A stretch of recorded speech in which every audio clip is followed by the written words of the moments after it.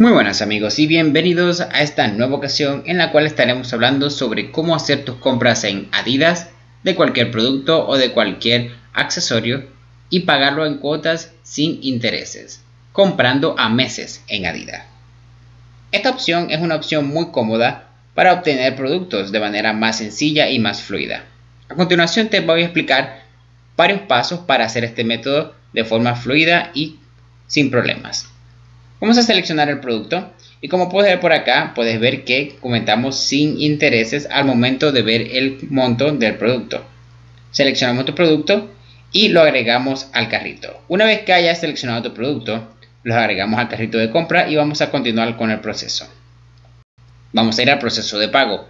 Durante el proceso de pago, selecciona la opción de tarjeta de crédito como método de pago. Vamos a ver que acá en pago sin intereses verás la opción para pago a mensualidades con intereses al momento de seleccionar tu tipo de pagos. Aquí podrás elegir el número de cuotas que prefieras. El cálculo del interés dependerá del número de mensualidades que selecciones. Por ejemplo, si eliges tres mensualidades, verás el monto que pagarás mensualmente con algunos intereses incluidos. El interés, por supuesto, será bajo, pero no puedes quitarlo del todo. Vamos a ver el resumen del pedido. En el resumen del pedido podrás visualizar el detalle de lo que vas a pagar, incluyendo los intereses, si es que tuviese alguno.